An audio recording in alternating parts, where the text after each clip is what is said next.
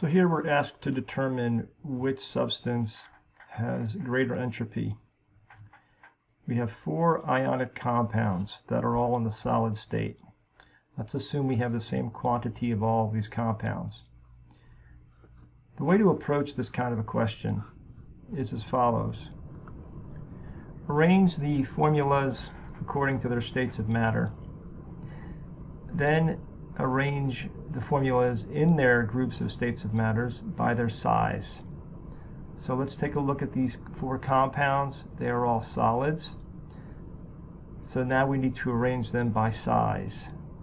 So a reminder that atoms get larger as one goes down the periodic table. So the smaller elements are in periods 1 and 2, and atoms get larger as you go down the groups.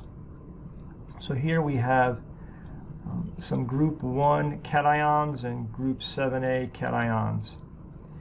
And if we look at how they're paired, we have lithium with fluoride and lithium with chloride. So lithium with chloride is going to be larger than lithium with fluoride. And the next largest is sodium bromide.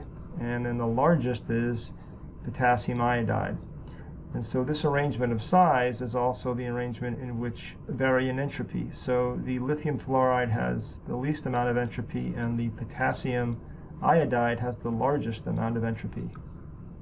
Here we're asked to arrange these four substances according to their entropy, uh, lowest to highest. Here we have two solids and two liquids. So the first thing we're going to do is group the formulas according to their states of matter and then arrange them by size within their particular state of matter. Here we have two compounds that are in the solid state and then two in the liquid state. We group them. Then we take a look at their sizes and see that the carbon, the elemental carbon, is smaller than CCl4. And then within the liquid state, the water is smaller than CHCl3.